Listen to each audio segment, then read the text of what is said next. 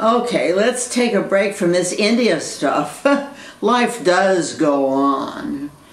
So, today I went for x-rays, knee x-rays. I wound up in the hospital at the x-ray department. And the young man helping me, it was, it was uh, maybe in his 20s. I think he's maybe from Philippines very, very good at what he did. And I had to get in a lot of positions. I I didn't wear pants because I thought you might they might need to see my knees and I didn't want to have to take off my pants. So if I had a long skirt on, I could just lift my skirt, right?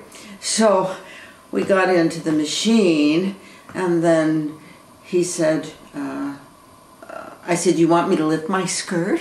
And he said, no, that's not necessary. I said, it's okay, I have uh, underwear on. So he didn't blink an eye. He, he, he's good at his job. And so uh, I lifted my skirt and he did the x-rays. Then we took more x-rays on the table.